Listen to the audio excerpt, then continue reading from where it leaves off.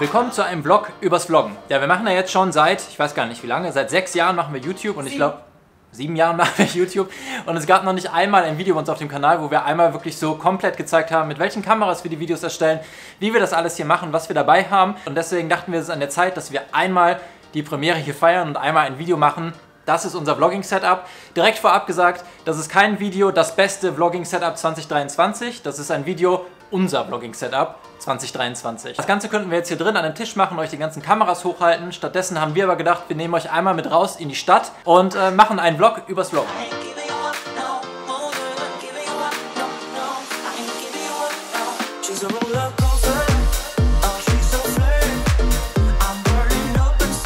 Und das ist in unseren Rucksäcken, wenn wir an einem Tag vloggen. Daniel hat einen Kamerarucksack von Wondert mit 31 Liter und an der Seite hat er immer unser Handstativ, den Switchpod, aber dazu kommen wir noch gleich.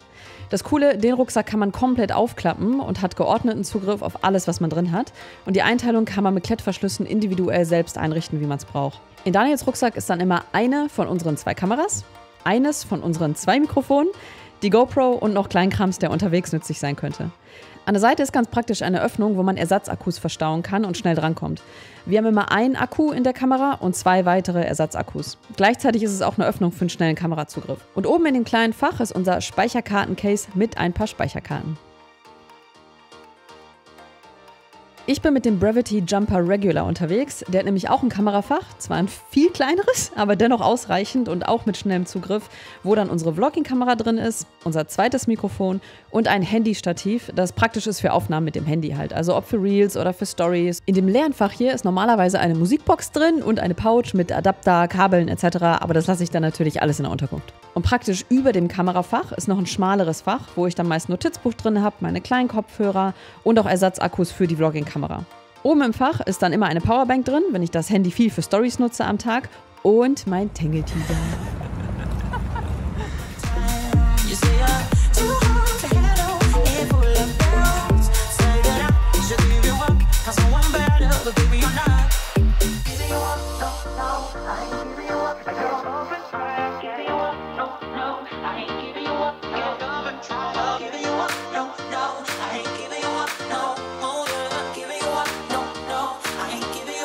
Und damit hallo aus Bangkok. Ja, aber das wird jetzt kein Bangkok-Vlog, sondern wie gesagt ein Kamera-Vlog. Und direkt vorab, hier in der Ecke werden wir immer einblenden, mit welcher Kamera wir genau das filmen, was ihr gerade seht. Und unten werdet ihr dann alle Links finden äh, zu allen Sachen, die wir vorstellen. Und jetzt starten wir richtig rein. Jetzt fangen wir an mit der Kamera, mit der wir hier gerade filmen, unsere Vlogkamera.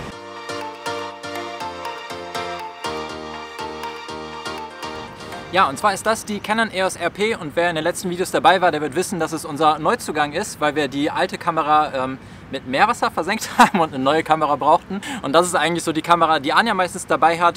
Warum und wieso diese Aufteilung mit den Kameras bei uns ist, da kommen wir aber später noch dazu. Direkt ein großer Grund war, warum wir die Kamera genommen haben, dass es eine Vollformatkamera ist. Das bedeutet einfach, dass der Sensor größer ist und das sind meistens eigentlich immer so die professionelleren Kameras, die haben diesen größeren Vollformatsensor und das heißt einfach, dass ähm, die Kamera A besser ist in schlechten Lichtverhältnissen, B durch diesen größeren Sensor auch dieser komplette Bildausschnitt generell größer ist, also das was ihr seht hängt aber auch noch mit dem Objektiv gerade zusammen. Tiefenschärfe, also das heißt ich bin ja jetzt scharf, der Hintergrund ist unscharf, das wirkt bei Vollformat alles ein bisschen sauberer, weicher und irgendwie so ein bisschen ausgedehnter. Das Coole ist dadurch, dass es Vollformat ist, dass es wirklich echt eine recht professionelle Fotokamera auch ist und wir gleichzeitig mit der Kamera zusätzlich auch noch für Blog und Instagram richtig gute Fotos machen können. So, jetzt kann man sich fragen, warum habt ihr jetzt trotzdem gerade die Kamera genommen, weil Vollformat haben ja noch andere Kameras. Tatsächlich ist das die, aktuell die günstigste Vollformatkamera, die man auf dem Markt findet und es war in dem Punkt war es auch ein bisschen so eine preisliche Entscheidung, warum wir die Kamera gewählt haben. Einen Abstrich müssen wir aber machen mit der Kamera, direkt vorab gesagt, dass sie 4K ist das jetzt nicht der absolute Hit, die Kamera. Die kann zwar 4K aufnehmen, aber wenn man 4K aufnimmt, dann ähm, spielt der Sensor eigentlich keine Rolle mehr, weil sie zoomt ein bisschen rein und der Autofokus ist nicht mehr so gut. Ist uns aktuell aber egal, weil 4K einfach so viel Speicherplatz wegnimmt bei den Aufnahmen, die wir machen und ähm, ja, wir gerade überhaupt nicht die Kapazitäten haben, diese ganzen Vlogs, die ganzen Videoaufnahmen irgendwie in 4K alle unterzubringen. Unabhängig davon, welche Kamera, besonders drei Sachen sind uns wichtig und wenn eine davon nicht abgedeckt ist, würden wir uns eine Kamera nicht als Vlogging-Kamera holen. Das eine ist so ein Klappdisplay, jetzt kann man meinen, ja gut, hat mittlerweile jeder Kamera, aber je nachdem, in welchem Preissegment man ist, hat nicht jede Kamera so ein Klappdisplay. Das zweite ist stabilisiert Stabilisierung. Also, dass wenn wir jetzt gehen, meistens gehe ich so in diesem Tempo, wenn ich mit euch quasse, dass es nicht zu krass wackelt, weil das sonst fürs Auge echt nervig wird irgendwann. Und wir hatten solche Kameras vorher. Liegt jetzt auch ein bisschen an dem Weitwinkel, dass es nicht so heftig wackelt, aber eben auch an der Kamera, weil die eine digitale Stabilisierung hat. Und das dritte ist ein guter und schneller Autofokus, dass, wenn der Daniel jetzt einfach mal so reinkommt, ich dann sagen kann, hi Daniel, willst du was sagen? Er ist fokussiert und äh, dann kann ich wieder auf mich setzen. Oder wenn ich euch die Skyline zeigen will und ich drauf tippe, ist die Skyline scharf. Und dann tippe ich wieder auf mich und ihr seht wieder mich. Und dieses Rechteck, was ihr hier seht, auch mega wichtig, Gesichtserkennung, dass ich mit meinem Gesicht hingehen kann, wo ich will. Und er trackt mich und ich bleibe die ganze Zeit im Fokus. Also diese drei Sachen müsste das für uns abgedeckt haben. Äh, wenn eins davon fehlen würde, würden wir uns eine Kamera nicht holen zum Bloggen. Und aktuell ist in der Liste nicht 4K, wie Daniel gesagt hat, wegen Speicherplatz und so. Deswegen fanden wir es bei der Kamera jetzt nicht so schlimm, dass das mit dem 4K nicht ganz so geil ist, wenn man es dafür nutzen will. Das Objektiv, was wir in der Kamera nutzen, das ist eine 16 mm Festbrennweite mit einer 2.8er Blende. Festbrennweite bedeutet, dass der Bildausschnitt, den ihr jetzt hier gerade sieht, seht, der ist fix. Also wir können nichts dran ändern. Wir können weder rein noch rauszoomen. Was für uns aber völlig okay ist, weil das ist ja sozusagen unsere Vlogging-Kamera und wir haben noch eine andere Kamera, wo wir auch einen Zoom mit drin haben. Deswegen können wir hier einfach diesen fixen Bildausschnitt haben. Hätten wir nur eine Kamera, dann würden wir aber auf jeden Fall darauf achten, dass das Objektiv, was darauf ist, zumindest einen kleinen Zoom hat. So, jetzt hat das Objektiv für uns aber drei Vorteile. Vorteil Nummer eins ist dadurch, dass der Ausschnitt so weitwinklig ist, äh, müssen wir die Kamera nicht so super weit von unserem Gesicht weghalten. Also ihr seht jetzt gerade das Bild, so wie ich euch jetzt hier gerade weghalte.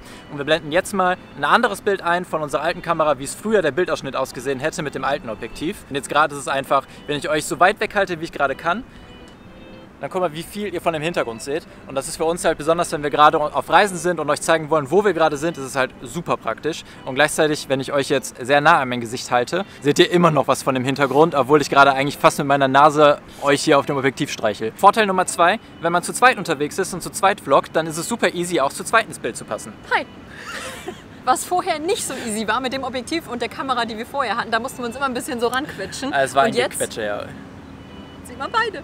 Also ein Weitwinkelobjektiv können wir sagen, ist auch ein Pärchenobjektiv. Ein Pärchenobjektiv, ja. Und der dritte Vorteil, vielleicht habt ihr es gesehen, das Objektiv ist einfach mega klein und dadurch ist es auch mega leicht und vor allen Dingen erstmal auf Reisen ist es cool, dass der Rucksack oder das Handgepäck nicht so schwer ist, wo die Kamera drin ist und gleichzeitig, man hält beim Vloggen ja so eine Kamera auch mal relativ lange vor sein Gesicht und da ist es ganz cool, wenn das Objektiv nicht so viel wiegt. Den Teil haben wir übrigens gerade hier in dem Ben Chakiti Park aufgenommen. Richtig schöner Park mit einer coolen Skyline im Hintergrund. Jetzt gehen wir aber mit euch zur Straße, weil es jetzt um das Thema Mikro und Ton geht. Der Härtetest. Bangkoks Straßen.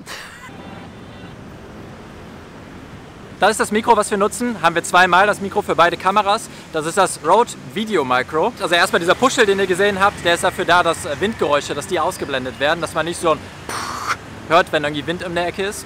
Und was das Mikro macht, das ist ein Richtmikrofon. Das ist jetzt in dem Fall gerade auf mich gerichtet. Und alles, was hinter euch ist, also in dem Fall der Verkehr, der wird hoffentlich, gerade so gut es geht, ausgeblendet. Deswegen achten wir auch immer darauf, wenn wir Videos aufnehmen, dass wir uns so hinstellen, dass die Geräuschkulisse hinter euch ist und dass ihr unsere Stimme gut hört. Weil wenn ich mich jetzt hier einmal umdrehe, dann gleich kommt wieder ein Moped vorbeigefahren. Das ist jetzt gerade Rotphase hier, wie ich hier stehe. Äh, Das ist auf jeden Fall die Geräusche vom Verkehr, dass sie halt viel mehr hier gerade reingehen in das Mikrofon. Ob wir jetzt irgendwo am Meer stehen, ob es ein Verkehr ist, ob es, keine Ahnung, irgendwo gerade Musik gespielt wird, dass wir dann immer gucken, dass die Geräuschkulisse hinter euch ist. Ja, und hier einmal der Mikrohärtetest. Ich hoffe, ihr versteht mich trotzdem. Ich bin ja mitten im Verkehr vom Bangkok drin. Und genau für solche Zwecke haben wir halt das Mikro, dass man hoffentlich mich gut hört, obwohl ich hier zwischen Tuk-Tuks, zwischen Autos und zwischen allen möglichen Leuten und Streetfood-Ständen rumlaufe. Aber das einmal als äh, kleiner Toncheck was das Mikro kann. Wir haben das Mikrofon jetzt einmal abgestöpselt und äh, wie ihr seht, ja, man hört mich trotzdem. Äh, aber jetzt ist gleichzeitig ist nichts rausgefiltert, so wirklich ist alles gleich laut. Man kann damit anfangen, ohne Mikrofon zu vloggen, aber tendenziell, wir würden nicht mehr verzichten auf Mikrofon. So, Mikro wieder eingestöpselt und was haben wir gesagt? Wir drehen uns immer weg vom Verkehr. es ist günstig, es kostet knapp 40, 50 Euro. Super klein, auch wegzupacken. Startet automatisch, was für uns ein großes Learning war. Wir hatten damals Mikrofone, die musste man selber einschalten zusätzlich zur Kamera und natürlich haben wir es oft vergessen. Beim Schneiden merken wir gerade, dass wir wohl vergessen haben, das Mikro anzumachen. Deswegen synchronisieren wir jetzt einfach mal. Und haben noch einen Kaffee mit Bier im Angebot gefunden. Cerveza. Von Marrakesch nehmen wir dann den Zug nach Fes. Tickets haben wir zwar noch nicht. Und es hat keine extra Batterie. Es gibt auch Mikrofone, da muss man noch extra die Batterie aufladen. Und da haben wir auch den Aufwand klein gehalten. Einfach einstöpseln, Kamera an und los. So, und das Ganze, was wir euch jetzt gerade vorgestellt haben, das steht alles auf einem Handstativ. Also generell ist ein Handstativ mega praktisch. A, es ist angenehmer so zu halten, als die Kamera irgendwie so zu halten. Äh, zum Zweiten kann man das noch mal ein Stückchen weiter weghalten, als wenn ich nur die Kamera halten würde. Und zum Dritten nimmt es noch mal ein bisschen Stabilisierung rein, weil das Gewicht halt so ein bisschen abgefedert wird.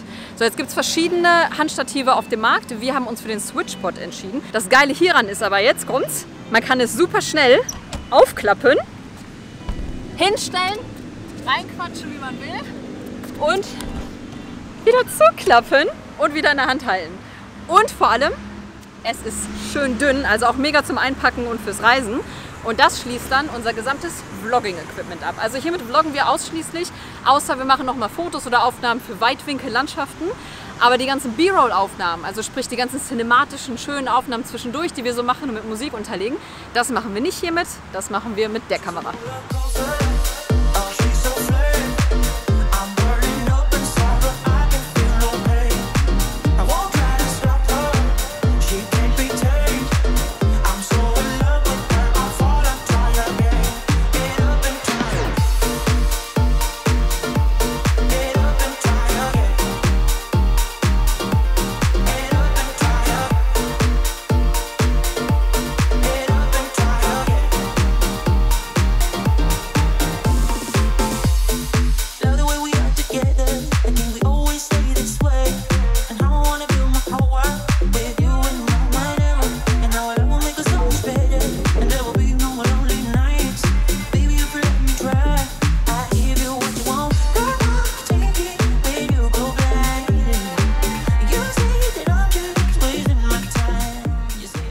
Vlogkamera, das ist eher so Anjas Baby, die ist auch bei Anja im Rucksack drin und sie hat die Vlogkamera eigentlich immer primär in der Hand. Und das hier, das ist mein Baby, das ist die äh, Canon EOS R. Das ist die Kamera, mit der ich eigentlich immer rumlaufe, wenn wir draußen äh, gerade Content machen. Es ist sozusagen der große Bruder von der Canon EOS RP und ohne jetzt hier zu sehr ins Detail zu gehen, runtergebrochen kann sie all das, was auch die Canon EOS RP kann, also unsere Vlogging-Kamera nur alles noch mal ein bisschen besser. Und weil die Qualität von allem ein bisschen besser ist, ist das auch die Kamera, die wir primär nutzen für Fotos, also sowohl für Blog, für Instagram oder überall da, wo wir Fotos brauchen. Und es ist die Kamera, wo wir sozusagen die cinematischen Aufnahmen für die Videos machen, wo wir sagen, okay, hier kommt es uns besonders nochmal drauf an, dass die Qualität ein bisschen cooler ist von den Aufnahmen. Der ein oder andere fragt sich jetzt vielleicht, wenn doch die Kamera besser ist als die andere, warum nutzt ihr die nicht auch zum Vloggen? Deswegen.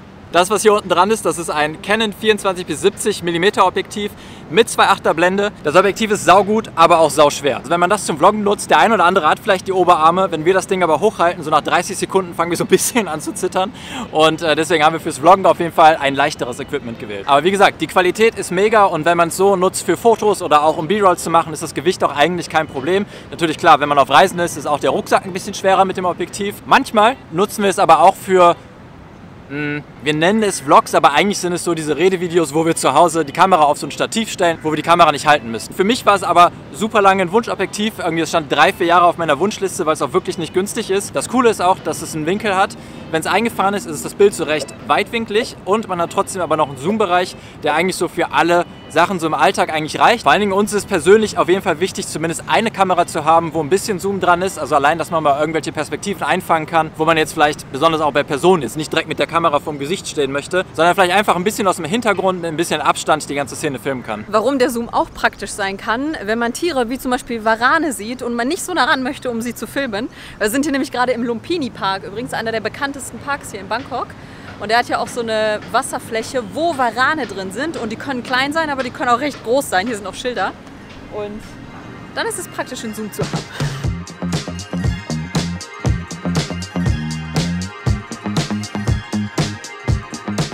Genau das zeigt eigentlich auch und beantwortet die Frage, warum wir überhaupt mit zwei Kameras reisen. Also es ist jetzt nicht so, dass wir sagen würden, wenn man YouTube und Blog und so macht, dass man zwei Kameras braucht. Als wir das Ganze gestartet haben mit YouTube und auf der Weltreise, hatten wir auch nur eine Kamera und das ging klar. Das Ding ist aber, wenn zwei Leute so gerne Fotos und Videos machen, dann ist das immer so Schlange stehen gewesen. Dann war es so, bis jetzt fertig, kann ich jetzt auch machen. Und dadurch, dass wir jetzt zwei Kameras haben, ist es auch noch super effizient geworden, weil wir alles irgendwie parallel machen können. Während ich hier mit euch quatsche, weiß ich, dass Daniel im Hintergrund dann die passenden Aufnahmen dazu macht. Und ich weiß dann auch, auf dieser Speicherkarte sind alle Redeanteile, auf der anderen Speicherkarte sind alle schönen Aufnahmen sozusagen, wo Daniel euch die ganze Umgebung in schön zeigt. Und so hat sich auch so eine, so eine Aufgabenteilung eingeschlichen bei uns, dass dann klar ist, sobald wir so einen Tag machen, wo wir vloggen, dass jeder weiß, cool, ich fokussiere mich auf schöne Aufnahmen, auf die Fotos, ich fokussiere mich aufs Vloggen und ein bisschen die Storyline an so einem Vlog, dann macht es das Ganze auf jeden Fall entspannter, wenn nicht beide an alles gleichzeitig äh, versuchen zu denken. Und eine Art technischen Vorteil hat es auch noch. Wir haben nämlich direkt zwei Setups, die ready to go sind, wo wir nicht noch Objektive wechseln müssen oder so, sondern diese Kamera ist ready zum Vloggen und die andere Kamera ist ready für coole Fotos. Ah, da ist eine Schildkröte. Hast du die auch gesehen? Da ist übrigens auch ein Tipp, ähm, wie wir das Handy nutzen, wenn wir mal weiter reinzoomen müssen, weil das Handy einfach, kommen wir gleich zu.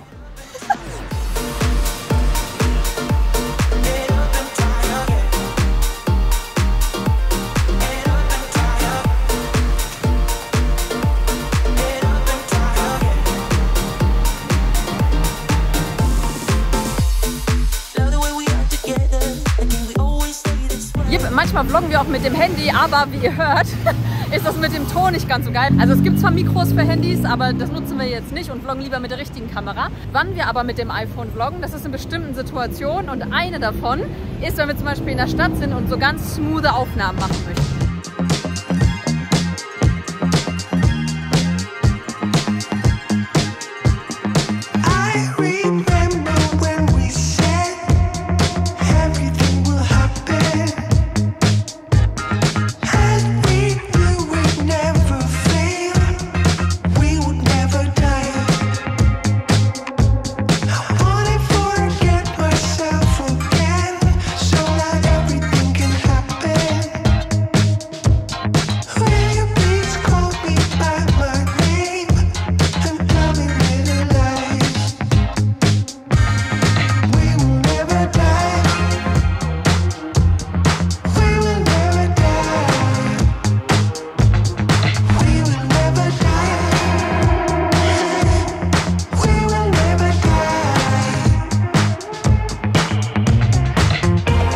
Qualität der Handys aktuell ist so mega gut geworden. Vor allen Dingen auch gerade, also wir nutzen beide ein iPhone 14 Pro.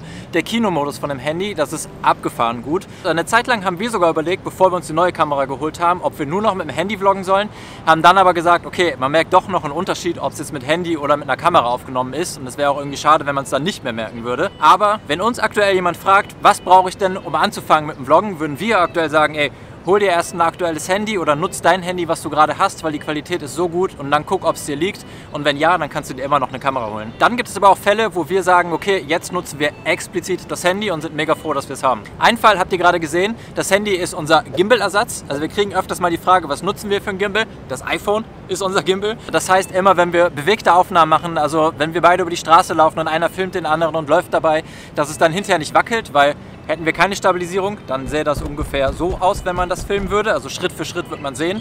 Und auch Aufnahmen, wenn wir auf dem Moped sitzen, dass man mit dem Handy filmen kann. Da holen wir die Kamera gar nicht mehr raus, weil wir wissen, dass es damit nur verwackelt wäre. Fall Nummer zwei, wo es nicht auffallen soll. Das Handy ist dann praktisch unser Inkognito-Modus, weil wir hatten schon so oft den Fall, gerade am Flughafen, dass dann irgendwann so ein Mitarbeiter gekommen ist und gesagt hat, nee, nee, pack mal weg die Kamera. Wir sollten auch schon mal die Aufnahmen löschen an einem Flughafen. Wir hatten also diverse Gespräche mit ein paar Sicherheitsmitarbeitern und äh, die haben dann hinterher ein bisschen unser Rohmaterial durchgeguckt und mussten wir einmal alles aus dem Flughafen löschen. Und da ist es mega einfach schnell das Handy rausholen zu können und damit filmen zu können. Unter anderem auch ein Grund, warum wir die komplette Anreise Anfang des Jahres von Düsseldorf nach Malaysia komplett mit dem Handy gefilmt haben. Fall Nummer 3, Zoom. Ja, das ist echt ein Ding, das hätten wir selber nicht gedacht, dass man mit dem Handy so krass weit zoomen kann und die Qualität auch noch gut ist. Unsere Objektive habt ihr gesehen, die haben alle keinen krassen Zoom und wenn wir mal wirklich irgendwo ran wollen, dann nehmen wir das Handy und hier ist ein Beispiel von Langkawi, wo so Nashornvögel in so einem Baum versteckt waren und wir waren so weit einfach weg von diesen Vögeln und mit dem Handy haben wir die einmal so komplett vollflächig einfach drauf bekommen. Fall Nummer 4, wenn wir keine Kamera dabei haben, dann nutzen wir das Handy, weil Ganz weiser Spruch, die beste Kamera ist immer die, die du dabei hast. Manchmal müssen wir auch ehrlich sein, wenn wir die große Kamera schon weggepackt haben und nicht mehr alles aufbauen wollen mit Mikro, dass wir einfach schnell das Handy rausnehmen. Vor allen Dingen Situationen, wo man denkt, die sind gleich vorbei, ähm, ist es mega, das Handy dabei zu haben.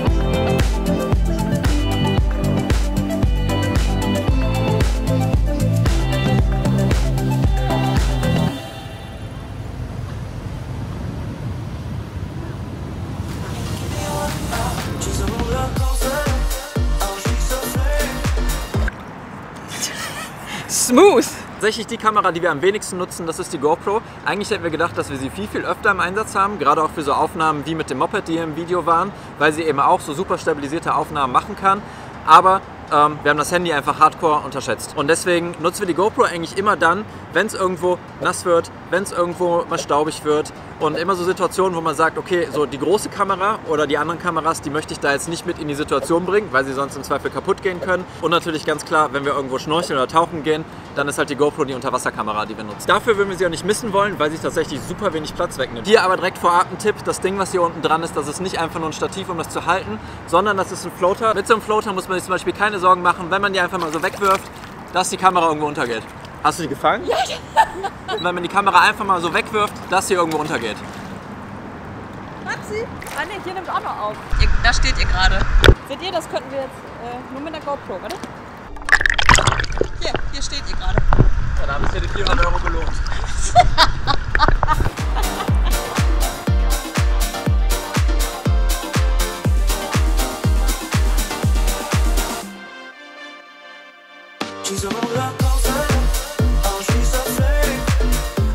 Okay, der Teil kommt jetzt auch für uns überraschend. Eine Drohne war in diesem Video eigentlich nicht geplant. Als wir aber zurückgereist sind, war Amazon Prime Day. Das kleine Ding war im Angebot und wir sind wieder Besitzer einer Drohne. So, und deswegen schieben wir den Teil ja einmal ganz aktuell in dieses Video rein und damit ist das Video auch eigentlich wieder live, würde ich sagen. Ja, das ist eine DJI Mini 3 Pro. Daniel möchte sie Mini-Lenny nennen, ich weiß noch nicht. Wir hatten vorher auch schon eine Drohne, wer schon länger dabei ist, wird es wissen. Das war der große Lenny. Der ist aber mittlerweile schon sechs Jahre alt, hat auch, glaube ich, ich meinen Schaden von Luftfeuchtigkeit bekommen in Costa Rica und deswegen waren wir die letzten zwei Jahre ohne Drohne unterwegs. Das ist eine Drohne, die ist erstmal ultra klein. Ah, jetzt kommt der Infoteil, dann gehe ich. Hm. Besonderheit der Drohne, sie ist mega klein und sie ist ultra leicht und sie ist so leicht, dass sie nur 249 Gramm wiegt. Wer sich ein bisschen auskennt mit Drohnen, der wird wissen, dass das so die magische Grenze ist. Ab 250 Gramm, also ein Gramm mehr, gibt es in vielen Ländern mehr Regeln, an die man sich halten muss. Ähm, in Deutschland und der EU braucht man einen Drohnenführerschein. Wenn sie ein Gramm mehr wiegt, braucht man jetzt nicht. Generell ist es halt ein bisschen einfacher, damit unterwegs zu sein, allein schon wegen des Gewichts. Heißt aber nicht, dass man jetzt hier damit machen kann, was man will. Also an ein paar Regeln muss man sich trotzdem noch halten. Wir haben die Drohne mit dem Paket gekauft, wo die große Fernbedienung dabei ist. Also die ist äh, tatsächlich ist die Fernbedienung größer als die Drohne eigentlich. Die wiegt auch mehr als die Drohne. Aber das Coole ist, an der Fernbedienung ist hier unten ist so ein Display dran. Früher musste man immer das Handy aufladen, die Fernbedienung aufladen, die Drohne aufladen. Und hier hat man einfach dann die Steuerung in der Hand und das Display ist da dran und das macht alles ein bisschen kompakter und gleichzeitig auch schneller in der Bedienung. Wann, wie und wofür nutzen wir die Drohne? Nicht nur für Video- und Vlogaufnahmen, sondern auch äh, um Fotos zu machen, besonders für unseren Blog von Sehenswürdigkeiten, Landschaften.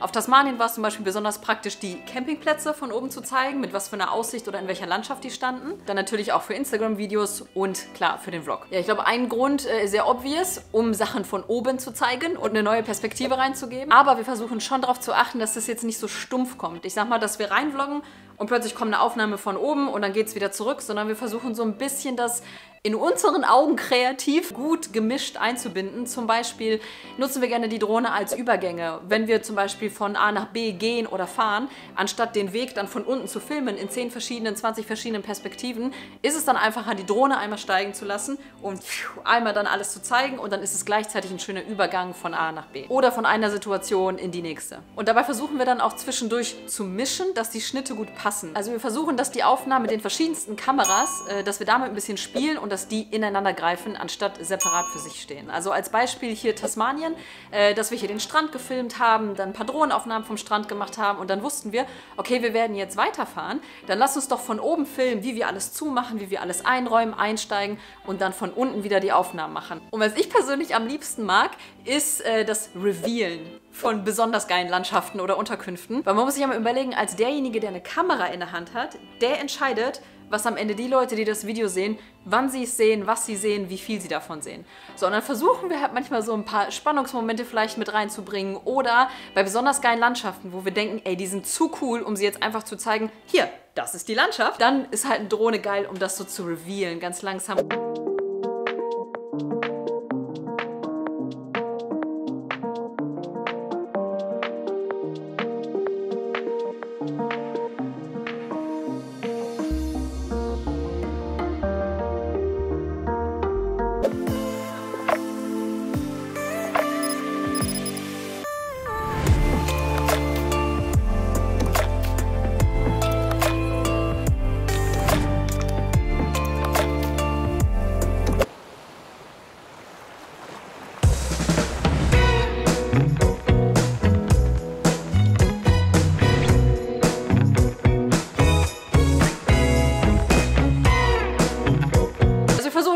Das so cool zu nutzen, kreativ zu nutzen und eine Drohne ist dafür unfassbar geil und wir müssen echt sagen, wir haben sie vermisst die letzten Jahre. Daniel fährt bei uns, äh, fliegt bei uns immer die Drohne bin der Pilot. und ich finde sogar, Daniel ist beim Film mit der Drohne so kreativ, weil er dann auch so mitdenkt, wie ein Schnitt von der Drohne auf den nächsten passen kann. Dankeschön.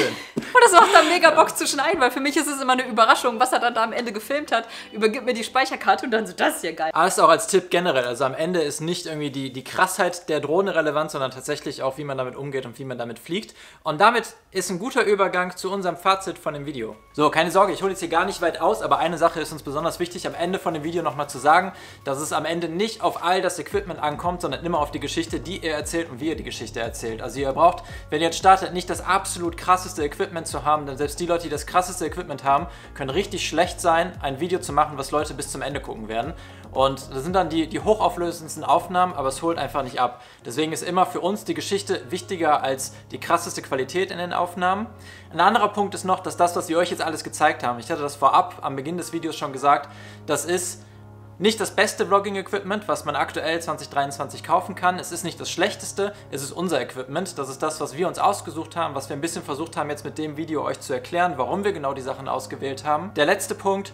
Generell würden wir nicht empfehlen, wenn jemand startet, einfach direkt zu sagen, ich kaufe mir jetzt das krasseste Equipment oder all das, was wir jetzt hier vorgestellt haben, sondern starte erstmal mit dem, was du hast, guck, ob dir das Ganze Spaß macht und du kannst dir Step für Step immer noch die nächsten Schritte dazu holen, ein bisschen upgraden mit den Sachen, die Sachen ein bisschen besser kennenlernen und dann einfach gucken, was vielleicht für dich das beste Equipment ist. Und ich glaube, am Ende müssen wir, müssen wir ein bisschen das, ein kleines Bild zerbrechen von uns, weil wir merken manchmal in den DMs oder Fragen, die wir bekommen, dass viele denken, wir hätten so voll die Ahnung, technisch von der Kamera würden wir jedes Detail kennen, komplett alles im manuellen äh, Modus oder so machen. Machen wir nicht. Auch ein Tipp, was ich noch sagen wollte, man braucht nicht die krasseste Kamera eigentlich, weil man am Ende, wenn man sich nicht auskennt, holt man vielleicht 10% von 100% der Kamera richtig raus. Und auch ich würde sagen, dass wir, keine Ahnung, ich würde jetzt nicht sagen, dass wir 10% der Leistung nutzen, aber wir sind bei weitem nicht bei 100% angekommen.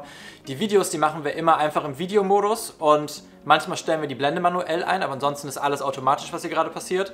Und auch wenn wir Fotos machen, dann haben wir meistens immer einen Modus, wo wir auch nur die Blende einstellen und der Rest auch automatisch passiert. Also für die, die sich auskennen, wir filmen weder in einem Flat Color Profile, noch haben wir RAW-Aufnahmen, das machen wir auch nicht. Wie auch schon im Video gesagt, wir machen unsere Kaufentscheidungen daran fest, an Punkten, die wir uns vorher festlegen, was ist uns wichtig, darauf gehen wir, dann gehen wir auch in die Tiefe, gucken uns Reviews an, ähm, wollen da wirklich was Vernünftiges haben, aber so alles andere drumherum, so Bit-Tiefe und weiß nicht, da sind wir jetzt nicht so die Pros drin und das muss man auch nicht sein, um zu starten oder um gute Videos zu machen. Ja. So in unseren Augen, ne? Wer Spaß daran hat, gerne, wir haben keinen Spaß daran, wir haben... Nee, muss man auch nicht. Ne. Nein, also ernsthaft muss man nicht. Eigentlich wollten wir jetzt am Ende vom Video noch einen Fact dranhängen, weil wir Fragen gesammelt haben bei Instagram, auch aus den letzten Kommentaren bei YouTube. Haben uns jetzt aber entschieden, wir machen daraus ein zweites Video. Also das kommt online, nachdem das Video online ist. Dann werden wir das aufnehmen. Wäre sonst zu lang, haben wir gemerkt. es, ja, das wird bestimmt auch nochmal 10, 15 Minuten gehen, wenn wir die Fragen beantworten. Dann könnt ihr das erstmal sacken lassen. Und wenn, wenn ihr noch, wenn noch Fragen offen sind, kommentiert die auch darunter. Vielleicht können wir die direkt mit ins nächste Video mit reinnehmen. Vielen Dank fürs Einschalten und Zuhören. Wenn ihr bis jetzt dran geblieben seid. Ja. Hammer. Outro-Time. Ja, und wo wir hier sind, das erklären wir irgendwann in einem anderen Vlog, ne? Hier könnt ihr den Kanal abonnieren. Hier kommt ihr zum letzten Video Und hier kommt ihr zum nächsten Video, unser Kamera-Fake. und zu unserem Discord-Server zum Austausch mit anderen Reisenden, nicht nur mit uns. Auch über Kamerathemen. Ja. Könnt ihr auch da machen. Ciao! Ciao.